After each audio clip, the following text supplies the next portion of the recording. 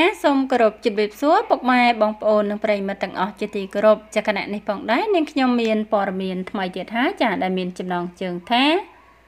សាច់ចុកពោះក្រោយអន្តិតឡុងចន្ទថាធ្វើអ្នកកំដរប៉ះអ្នកកាត់សក់ដាក់ប៉ុន្មានម៉ាត់នេះធ្វើឲ្យគ្រប់គ្នាសើចហៀទឹកមាត់ចាចាជាការប៉ັດណាស់ដែលកាលពីថ្ងៃទី4ខែឧសភា ឆ្នាំ2020កន្លងទៅសម្ដេចព្រះសង្ឃនាយក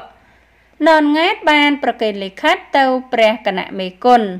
ខេត្តតកែវព្រះអង្គកែវសវណ្ណដើម្បីឲ្យនិមន្តភិក្ខុឡុងចន្ទថាគង់នៅវត្តភ្នំបូរីឃុំព្រែកថ្កោលស្រុកអង្គរបូរីខេត្តតកែវចូលទៅដោះស្រាយនៅសាលាគណៈខេត្តតកែវជាបន្ទាន់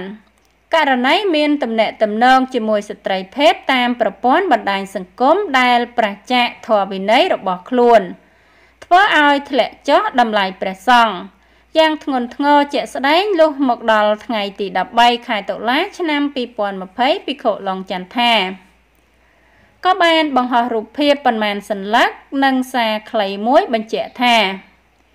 ថ្ងៃអង្គារទី13ខែតុលាឆ្នាំ2020នេះសូមទូលប្រគេននិងជម្រាបញាតិមិត្តចិត្តឆ្ងាយថាខ្ញុំព្រះករណាខ្ញុំបាទឡុងចន្ទថា បានលាចាកសិក្ខាបទមួយរយៈមានអ្នកចូលរួមពិសេសបំផុត គឺព្រះរស់របស់ខ្ញុំទាំងទ្វេសូមអរព្រះគុណនិងសូមអរគុណក្រោយបាត់មកមួយរយៈធំស្រាប់តែថ្មីថ្មីនេះគេប្រទះឃើញអន្តិតឡុងចន្ទថាលេចមកធ្វើជាអ្នកកំដរក្នុងពិធីមង្គលការរបស់កូនសិស្សខ្លួន ថែមទាំងបានប៉ះគ្នា ជាមួយអ្នកកាត់សក់ដាក់ប៉ុន្មានម៉ាត់សោះដល់ថ្នាក់ធ្វើឲ្យភ្ញៀវកិត្តិយសដែលបានចូលរួមពិធីនេះសាច់ឡើងក៏ក្រើករោងការតែម្ដងចា៎ចាហើយអត្តបទព័រមានដែលនាងខ្ញុំជម្រាបជូនខាងលើនេះចាគឺមានតែប៉ុណ្ណឹងចាហើយក៏សូមអរគុណដល់ពុកម៉ែបងប្អូននិងប្រិយមិត្តទាំងអស់ចាដែលតែងតែតាមដាន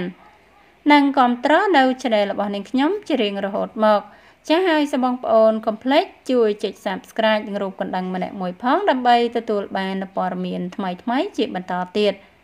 ចាសសូមអរគុណសូមជម្រាបលា